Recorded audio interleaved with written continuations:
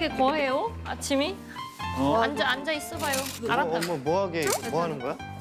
네. 아, 아침 맛있는 걸좀 어? 해주려고요. 오, 아침에 갈비. 아침부터 고기 좋죠. 이걸 아침부터 왜 이걸 해? 못 만나니까. 아니 약간 아 그냥 괜찮아. 그냥 앉아 간단한 거 있어. 같이 먹으면 되잖아.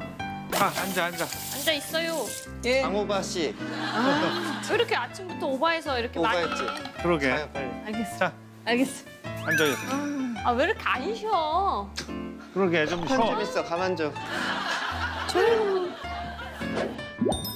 어머님은 다른 가족들이 하는 게 좀 불안하신 것 같아요. 주는다. 오, 계란말이. 맛있겠다. 어묵도 있어. 내가 제일 좋아하는. 감사합니다 잘 먹겠습니다. 검진하지 않았어 엄마?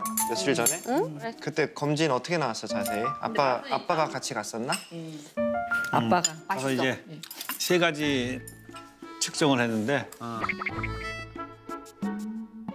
세기능 검사하고 그다음에 엑스레이 그다음에 혈액 검사 이 혈액 검사는 아주 잘 나왔어 콜레스테롤 수치도 정상이고 당뇨도 없고 모든 게 정상이야. 음. 그다음에 피 엑스레이는 전과 비슷하다는 거 그러니까 더 악화되거나 나빠지지 않았으니까 아직 잘 유지되고. 어, 잘 유지되고 있다는 거지. 그다음에 이제 산소. 그 산소 그러니까 6분 걷기 운동을 했는데 거기서는 이제 산소가 약간 좀 먼저보다 부족하게 나왔다고. 산소가 부족하다고? 산소가 부족하다고?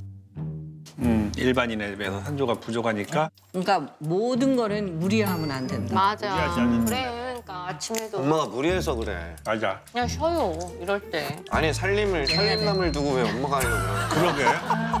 이거 활동적으로 무언가를 좀 했으면 좋겠어. 집에서? 집에서도. 뭐. 뭘 하면 좋을까?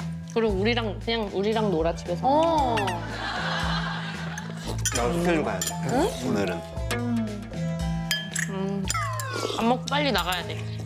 아빠도 이제 출근 일 나가야지. 뭐야, 우리랑 놀자 그래놓고 다 나가야 되네. 엄마 혼자 집에 있네. 그러니까. 그럼 그냥 가만히. 근데 왜 화장했어?